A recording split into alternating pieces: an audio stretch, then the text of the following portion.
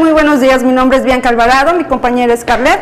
Nosotros somos corresponsables del diario El Mundo de Orizaba. Estamos dentro de las instalaciones del Instituto Federal Electoral, IFE, en donde se está llevando a cabo la Junta Distrital. En unos momentos nos dará una entrevista Felipe de Jesús. Él es el vocal del Distrito 15, de aquí de la ciudad de Orizaba. Señores integrantes del honorable Consejo Distrital, a efecto de dar cumplimiento a lo que establece el Código Federal de Instituciones y Procedimientos Electorales, toda vez que por primera vez participan en esta mesa de deliberaciones, tomaremos la protesta de ley al representante suplente del Partido de la Revolución Democrática y al representante suplente del Partido del Trabajo.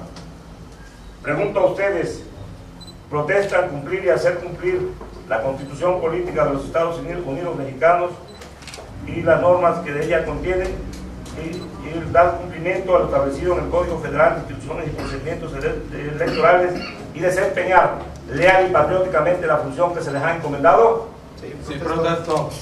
Estoy convencido de que pondrán ustedes todo su empeño y capacidad con el propósito que los trabajos de este Consejo se realicen conforme a los principios de certeza, legalidad, independencia, imparcialidad y objetividad que exige el avance de nuestra democracia. Muchas gracias.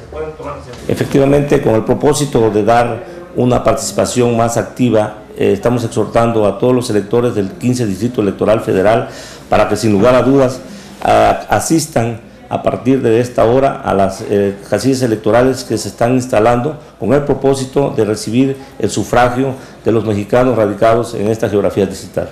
Ok, ¿cómo prevé que se va a dar la jornada electoral? El Instituto Federal Electoral ha hecho un trabajo titánico muy meticuloso con el propósito de que todas las actividades se realicen dentro de un marco de cordialidad y respeto.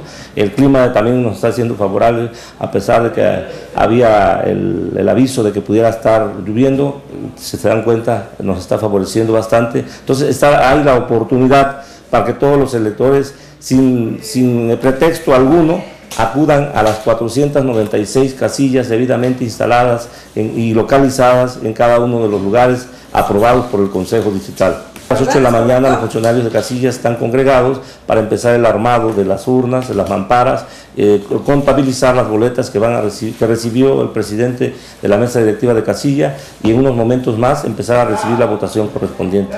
¿Algún mensaje que usted le da a la ciudadanía para que venga a votar? Queremos exhortarlos nuevamente para que vayan a las urnas electorales. La mejor manifestación, la mejor forma de participar y fortalecer la vida democrática del pueblo de México es emitiendo el sufragio. Los invitamos, tenemos la gran oportunidad de ser protagonistas de esta gran fiesta cívica que se realiza en este hermoso país.